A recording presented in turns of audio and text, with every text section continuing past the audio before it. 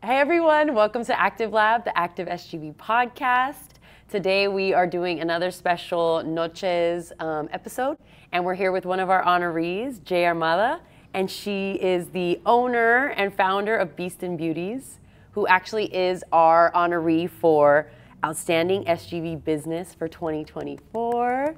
Congratulations. Thank you so much. I'm just happy to be here. Do you and I'm, I'm excited to receive that award too. Yes, you, you deserve it. Um, can you let our listeners and watchers know um, a little bit about the studio for those that aren't familiar? Yeah, so um, Beastin Beauties is actually an all women's um, fitness studio uh, dedicated to um empowering and inspiring women to uh, live their um, best life basically through health and, and wellness, you know? Um, I think it's important that uh, women stay moving and um, be healthy to be the best they, they can be. And I think it's so it's it's such a cool thing that it's like all women's because I didn't realize that was such a need It's until I big started going to a gym and I was like this is weird and awkward and then I found a gym that had only a section that was just for the women and it was like I could just relax not like Yeah, worry about not anything. care. I'm like, Yeah. when, when people come to class, I'm like, this is your time, girl. Like, you can drop it low, do whatever you want, um, because no one's watching, you know. Yeah. And it's just like a level of comfortability and like safety. And, and that's what um, that's what it's all about over here too. Um, it's like making women feel welcome, safe, and um, be able to spend that hour, that hour for themselves. You know, we don't get we don't get a lot of time to ourselves, especially when you're a mom or like you're a busy professional, um, whatever that may be. That one hour is like the best. So. I feel like everyone should always have fun when they're moving. Agreed. Um, okay, can you tell us a little bit about how you became an entrepreneur? Um, I think I've always been um, an entrepreneur since I was little. Um, I remember uh, my grandpa told me, "I'll pay you ten cents if you like pull out all my white hair." well, that man was bald after that, you know. But um, yeah, uh, it actually stemmed from um, a need. I actually, um, so I came from the Philippines. I we immigrated here on a tourist visa and I didn't have papers. So I worked, I, I actually like was able to do everything. I was like, I had a car, I had like insurance, I had like, I did everything with no papers. I went to school, um, but the job that I had, um, they were like getting bigger and um, they just couldn't keep me anymore. So I had to be let go. And I was like, you know what? Like, let me just take everything I learned from that um, company, like Photoshop, like all that, and and take it with me and do something with it. So I started like um, before like digital. Um, all the digital items that you see online Yeah. right now, like cards, like I, I did that for a minute. And then um, a year later, I was like, you know what? I need to work on myself. I don't feel good. And I was like, I'm gonna like lose weight. Like, I wanna lose weight, feel healthy. Like, I don't wanna be like this anymore. So I gave myself a goal. I actually lost 93 pounds um, in a year, 88 in eight months, 93 in a year. Wow. And then um, I was like, dude, I feel so good. I want everyone to feel like this. Mm-hmm. Like, it doesn't matter who you are, everyone needs to feel this good. So I um, started teaching in 2013, and then I started my own studio after that because I we needed a space. Yeah, You know, the community needed a space. for sure. Yeah. And what did you start, like, what was the first thing you taught? Um, a Zumba. Oh, zumba. So, but I didn't like the music. I didn't like the music, and I. You don't like Pitbull? I, I used to love teach Zumba Pitbull. too. No, but I love Pitbull. I, I do, but not like the um, I don't know. I just didn't um, like the move. So what I did was I started making my own songs. Oh. So I incorporated like HIIT moves onto my onto my routine. So Mm-hmm. if you ever take a class with me, it's uh, you'll have you'll be having fun and then boom you hit burpees like it's so crazy but it's so fun like Yeah. you won't even realize how many burpees you did in a song and um, yeah like I, I actually call it JamFit so our cla- one of our classes is JamFit um, and that's the dance fitness, like high intensity HIIT um, moves incorporated in a song. I play a lot of hip hop, but we play everything. Like I, I do play everything. I just like it's the music that I like because when you like um, the music, I feel like you're more um, you'll you'll Yeah, do it. you're motivated Yeah, you'll do it. So I try to like um, like whatever song's out, like oh let me make this song like for my class, and they get excited about it. You know. I can relate to that as a as a yoga teacher. Like selfishly, I just like to make my own playlist and make everyone You listen to know, the when- music I like. No, but when you are are teaching and you're feeling good, that energy spreads to everyone. Exactly. So like, you know, once you get in there and you're feeling it, like everyone just gets happy. Yeah, Like people it's walk in, contagious. They're walking in like, oh man, I have to do this workout. And then after everyone's like happy, it makes you feel good. Yeah. Yeah, as an instructor. Very cool. Okay, so what are the biggest challenges to operating a small business in the SGV? Um, financial stability. Yeah. Honestly, it's been um, hard, um, but yeah, I think like not. Um, it's that. Yeah. It's that.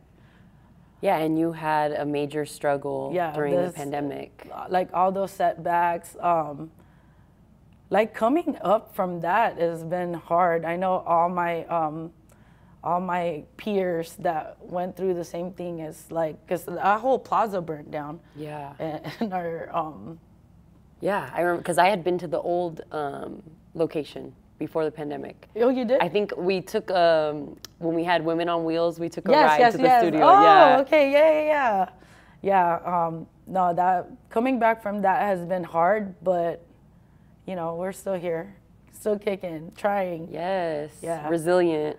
I really, I really respect that, and I, I do understand. I mean, I don't, I'm, I don't own my own business, but you know, I have a few like little side projects, Mm-hmm. and keeping that, that motivation and and Yeah, finding when- the support. It's When, when you're um, um, going through that finance stuff, you're um, it's hard going through. I wish I didn't have to deal with money, but I know everyone hates dealing with money. But man, like when when the community shows up for you, you're like, okay, like I gotta do because this. yeah, I you know. It's like it's not just for you anymore. yeah, like, there's a it's whole, for everybody. Yeah.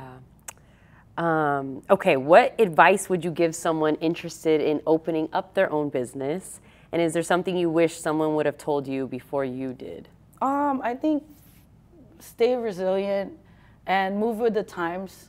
Like, um, like pivot for sure, and That's a good tip. Yeah. yeah, so it's, staying relevant is hard when you've been doing um, um, the same thing for a long time. But um, yeah, like if you keep pivoting and keep moving with the times, like you you'll be good. Staying resilient is like the main thing though. Like that keeping that passion for Yeah. for whatever it is that you love is sometimes it gets hard, but you gotta like pull through it. Yeah. Because I'm sure when you started this, it was it was all because of the love and the passion. But then, like everything, like, Like I know this with yoga, it starts to be like a job, and it like, oh, okay, Yeah. gotta gotta keep doing this. But then, yeah, finding finding those things that, or like rooting yourself in the things that made you fall in love with it to begin with, which is, for me is like the community and like spreading that that feeling that, That you get after an amazing workout. Yep. So, I Yeah, it's it's um, it gets hard, but you gotta like always remember that. Yeah. Like why you started in the first place. Mm-hmm. For sure. Um, okay, so what's in store for Beastin Beauties in the next few years, uh, and any special programs or classes you have in mind? Um, in the next few years, I just want to like uh, expand like our our offerings like with classes and stuff. Um, I know like uh, it's really hard right now even to find instructors. So um, yeah, but in the future, I would love to bring in like like maybe spin like other classes in here and just make it the go-to in the Yeah. SGV. You know, um, the community in here, everyone is so like awesome it, it's the best and i wish like i could just make people see that like Yeah. hey like come here but um, we want to uh, for sure offer more classes, different classes, and um, like maybe uh, nutrition workshops and do all that.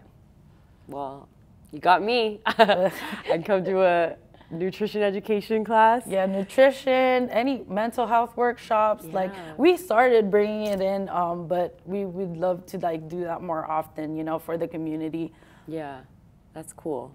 Well, I'm excited for all that. Um, okay, fitness wellness tip for 2024.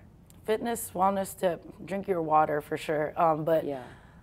I feel like this is always my tip in all the years, not just 2024, is find something that you love doing. Find something you love doing because all the other stuff you won't do it consistently. Yeah. If you don't love it, you won't do it. Or find people that will push you to do it because um, that's the main thing. People don't have um, the support. Yeah. Like you could be, um, I know in my uh, Filipino household, I'm sure in like um, other uh, households too, but you'll be the only one eating healthy. Yep. You'll be the only one. So you gotta find And then you'll get made fun of. Yeah, like, are you sure you don't want this? yeah. Tempting. Are you sure you don't want that egg roll? Yep. Why don't you want tortilla with that, mija? I don't know, but like, you know what I'm saying? Like, if you find that community with you, um, if you find that community, you'll you'll go all the way and stay consistent. Yeah. Yeah, that's why we host challenges in here. Like every uh, season, like the summer, I'm hosting a challenge um, for the summer, like just to get them stay consistent. You know, you know, we have those moments where we're like not consistent, but that's okay. Yeah. Like there's always like you can always pick yourself back up. Exactly. I'm in one of those moments because we just moved, and so like, I'm Yeah, like, oh, like, there's enough to do life, around the house. Yeah. That's life. Like um, that's just life. Like right now, I have the kids. It's summer, and hey, Yeah. They're. we're we're going through life right now, but how can I involve them, you know? Exactly. So like we'll go to the park, I'm getting my steps in, they're playing. You gotta like figure that out. And it's just like and, and the challenge we'll send each other tips and that helps too. That's awesome. Very cool. Um, if you had a day to show a friend some of the 626 or the SGV, uh, what would you do? We'll have a J day.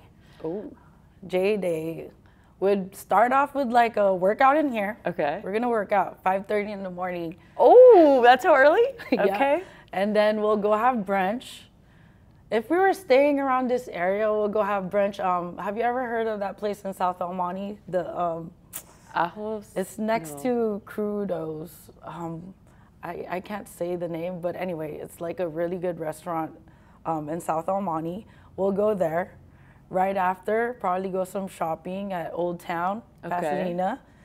And then we'll have lunch somewhere there. Okay. And then after that, it's gonna be the afternoon. We'll go like do a little hike, probably, go take a walk somewhere, and then bring it back to the edge um, to um, like on Valley, like San Gabriel area, where all the Asian foods are at. Oh, and yeah. All those places are good.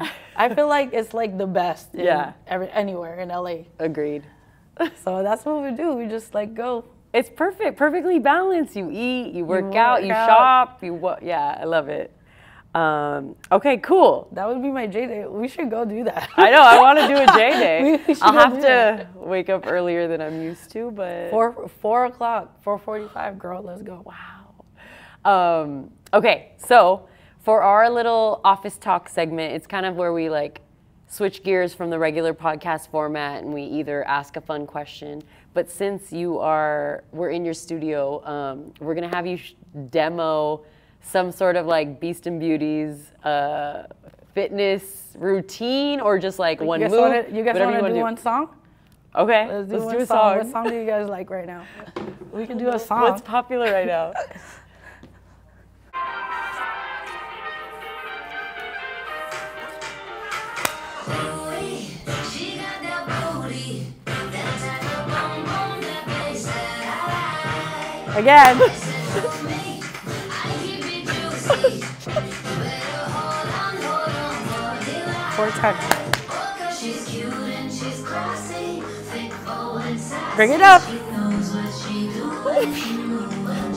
I know it's hard to imagine.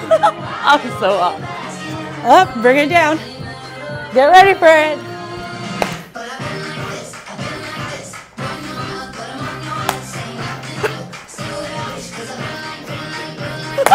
Thank you so much for watching, listening. We're out of breath. Are you okay? be sure to be sure to check out Beastin Beauties. Where can they find you?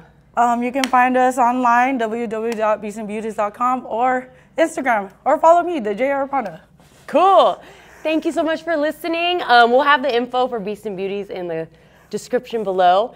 And don't forget to come to Noches. Information in the description box. We're out of breath. Thank you.